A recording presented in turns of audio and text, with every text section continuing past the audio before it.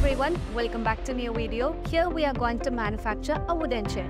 In order to manufacture a wooden chair, we require the following components such as wooden panel and screw. So all these components must be put together and this will be supplied from my company San Francisco to your company San Francisco.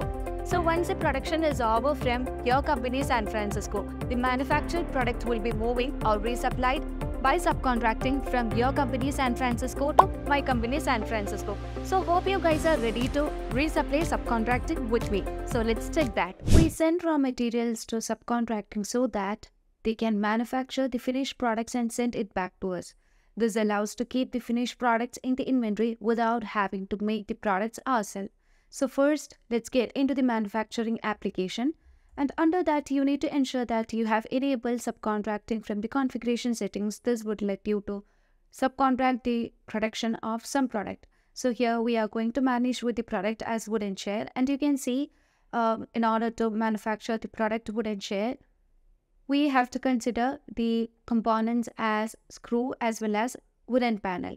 And we also need to manage with the uh, BOM so here I have already configured a BOM for the product wooden chair and setting the reference as resupply.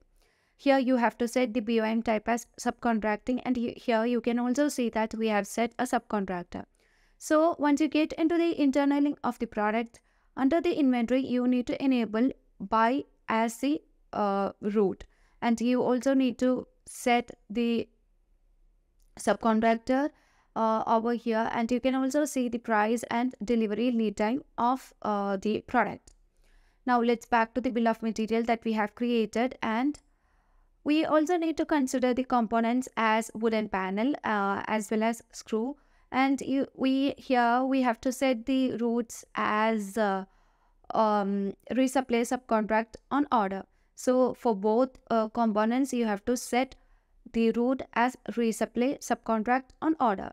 Now let's create an RFQ for this. So for that, let's get into the purchase module. Under purchase module, you can create a new RFQ. So let me choose the vendor that is the subcontractor that we have given in the BOM. And here you also need to choose a product that is wooden chair. So once you choose a wooden chair and confirm the order, here you can see that we have got a resupply button as well as a receipt button. Which means first we have to resupply the components that is the wooden panel and screw. This can be also managed from the inventory module. So let's get into the inventory module. Under the inventory module, now you can see we have to resupply subcontractor, which we have one to process. So here you can see the one step which is uh, shown here. Now um, you can see all the products here. You can set the quantities that to uh, resupply subcontract. And I'm going to set the uh, quantity and here now you can see the reserved quantity and then quantities are same and you can just validate this process. And you can also see that this has uh, created from the uh, which source uh, purchase order.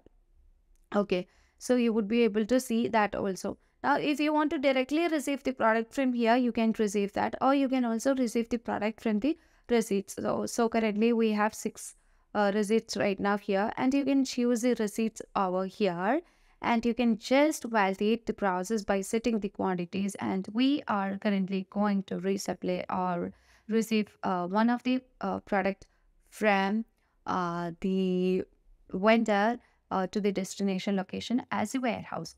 Uh, now you can set the uh, quantities by validating the process.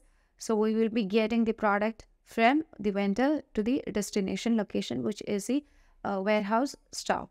So when you go, uh, as we have validated this, uh, once you go to the product, you can see the product quantity will be enhanced by subtracting the components quantity from each. So hope you guys have enjoyed the concept of resupply subcontracting in Odoo 16 manufacturing. As always, stay awesome.